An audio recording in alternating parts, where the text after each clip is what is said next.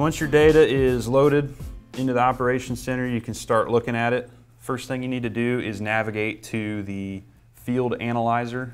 A couple different ways to do that. Uh, number one would be in the top left corner is your Tools button. Select that and then find Field Analyzer there. Another way would be to open up your list of fields and finding your field and it'll take you directly to that field. Or even easier than that, you can just click on the field on the map. And that will open a window. You'll select the second icon over, which is Field Analyzer, and it's going to open up Field Analyzer. This is going to show you the most recent operation that was done in this field. So the last thing that was recorded in this field looks like soybean seeding in 2016. We'll go ahead and select this first drop-down menu and you can see any operation that's ever been recorded in that field. For now, we'll select uh, corn planting for 2015 and you'll see that our map changes.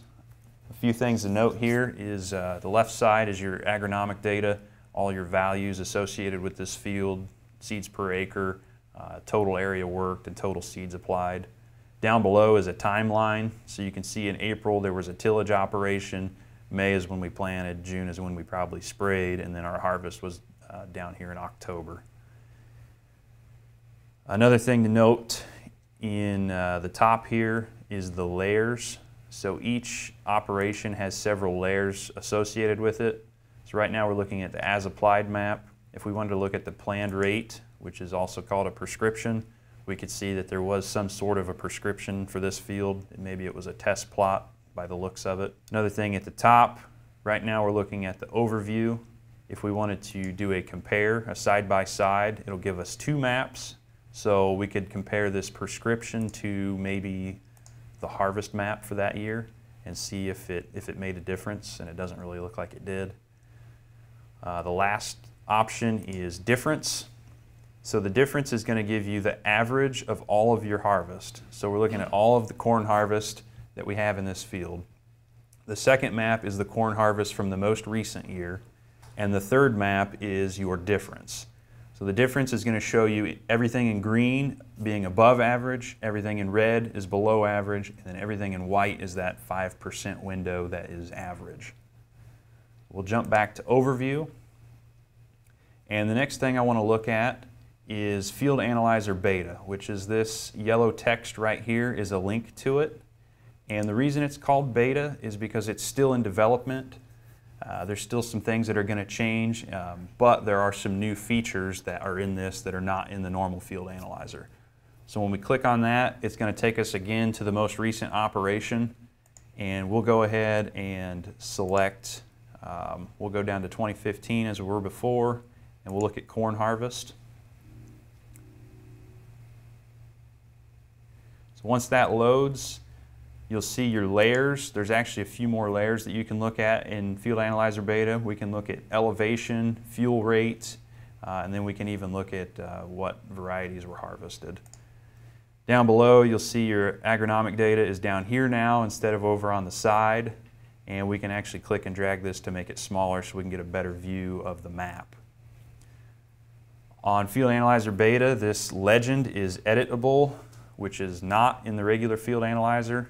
We can also adjust our contour and we can also adjust the transparency of the field. So if we wanted to see you know, a little bit of what was behind that field, maybe see the ditch that's running through this field and see if maybe the yield uh, changed through that ditch, we can do that. Um, another thing we can do in beta that we can't do in the regular field analyzer is a second operation uh, we can do a compare like we could before, but we did not have the soil map option in the regular field analyzer as we do in beta. So we'll give this a second to load and see what it looks like. First thing to note is down at the bottom in your data analysis, it's going to show you every soil type that's in that field and how each soil type did during the yield. So it looks like uh, this one here was definitely not as good as, as the ones down here. Um, we'll go ahead and drag that out of the way and we'll switch our view to number one, we'll look at the compare. So we can see a side-by-side -side of all the, field, all the soil types and the yield. But if we change this to overlay, it'll put the two maps on top of each other and then we can adjust the transparency of each uh, to be able to see if there was any uh, correlation between soil type and, and yield. So I'll jump back into overview and I'm going to change this um, bottom operation just to the same thing so we're looking at the same map. One other thing that we've been asking for for a while up here at the top is the selection tool. So we can select different shapes and we can actually select a certain part of the field and see how it did in comparison to the rest of the field.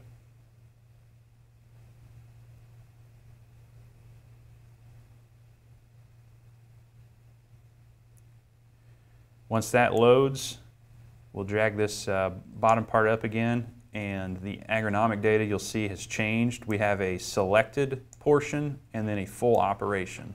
So everything below the selected part is going to be uh, exactly what we selected. So it looks like we selected almost six acres compared to the almost 180 acres of that field. And it looks like that six acres did yield a little better than the rest of the field. So just another tool you can use to, to better break down and analyze what you've got going on in your field. We'll go ahead and clear that. And one last thing I want to show is the export button up here in the top right. If we click that, it's going to create a PDF, which I'll select down here in the bottom left. And it makes a nice PDF that you can either print or you can email to whoever you need to, um, showing your map and all of your data. It even shows when you started and ended your work in that field who the operator was, uh, and then again, your map down below.